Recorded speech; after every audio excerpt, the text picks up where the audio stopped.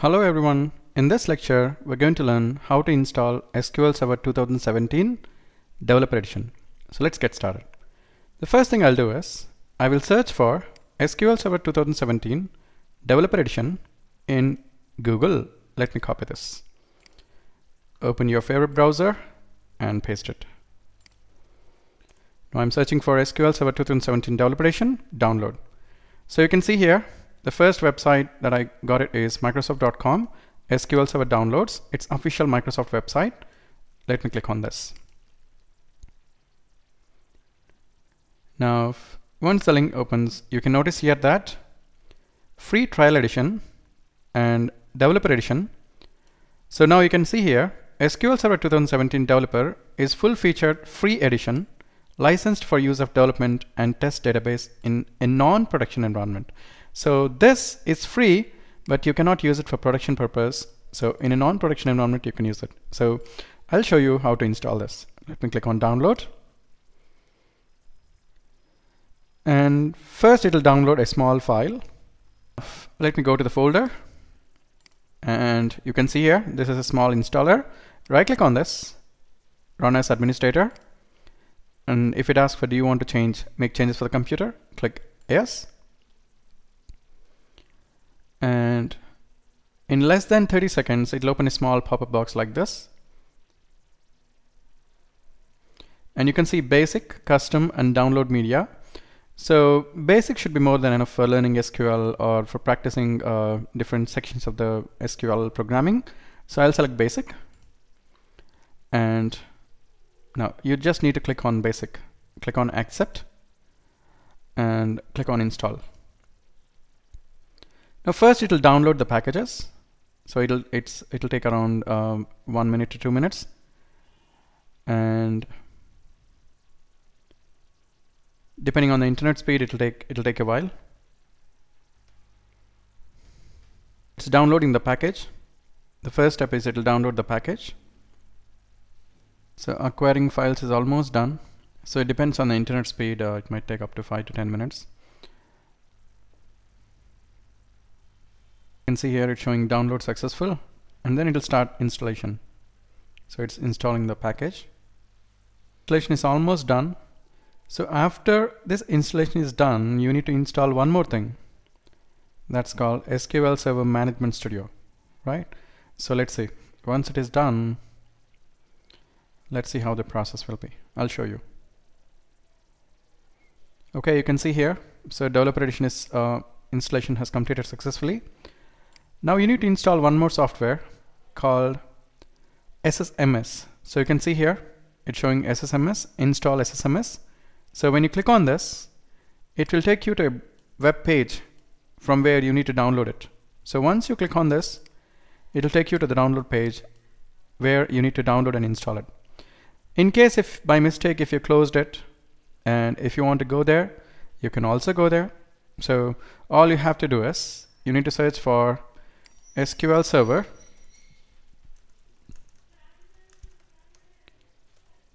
Management Studio download okay so SSMS stands for SQL Server Management Studio so now either I can search for this and I can download it or I can click on this install SSMS. Let's see where it'll take us now when I search for this. Let me search for this. And it, it's taking me to this page, download SQL Server Management Studio, Microsoft Docs. And let me click on this. And it came to this page, download SQL Server Management Studio. Right. So here you will see these two things. The same thing will happen even if you click on this install. See here now I'm clicking on this. Now when I click on this button, it will open it'll ask me which browser okay let me open in Edge browser it'll take me to the it'll take me to the same link where we can download SSMS see here now now what I need to do is I need to click on this download SQL Server Management Studio and in the meanwhile you can close this I closed it are you sure you want to exit SQL Server installer yes now now I want to download and install this okay now let me click on this now the file size is almost 800 MB. Uh, let me click on save. I'll save it. I will save it to my um, downloads. Let me click on save. So depending on your internet speed, it will take approximately um, 10 minutes or depending on the speed of the internet. So once it's downloaded, I'll show you. You can see here, download is almost 85% done. Okay, now you can see the download is almost done. And you can see here, so SSMS uh, finished downloading. Let me click on open folder. And now right click on this, run as administrator. So now we'll install this. So already we installed SQL Server Database Engine and the second part that we are installing now is SQL Server Management Studio. Right click on this, run as administrator and it'll open a small pop-up window. Now do you want to make change for the computer? Click on yes and it'll open a small pop-up. Yeah, now click on install. So this also will take around uh, 5 minutes to install. Now it's loading the packages, SQL Server Management Studio. So SQL Server Management Studio is the editor, is used as the editor where you can type your queries and all. The actual database engine part we have installed already. So this is the second part that we need to install, right? Showing us uh, package progress and parallel it will show overall progress of the installation. And uh, ideally it should be done in five minutes. Now you can see here that the setup completed successfully.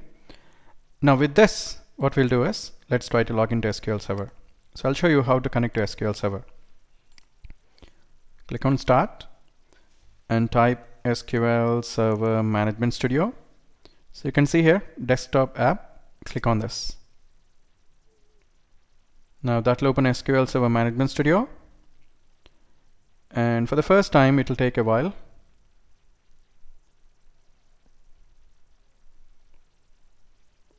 So it's taking some time.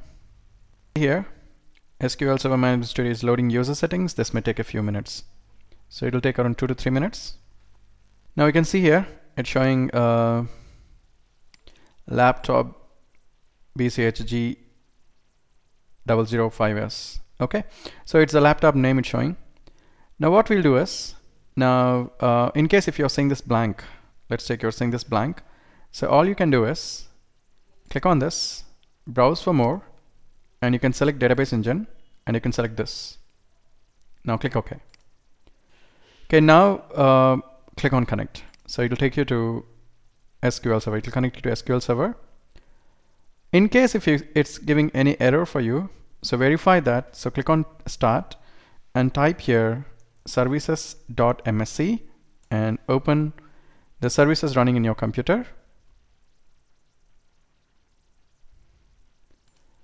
and you can scroll down a little bit and you can see that there'll be a service called SQL Server.